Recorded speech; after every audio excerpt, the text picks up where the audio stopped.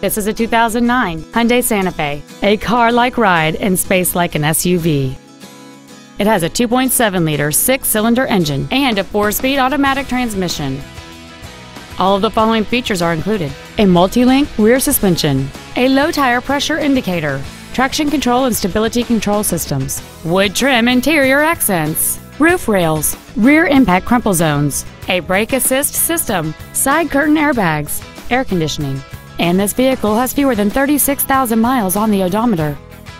This Hyundai has had only one owner, and it qualifies for the Carfax buyback guarantee.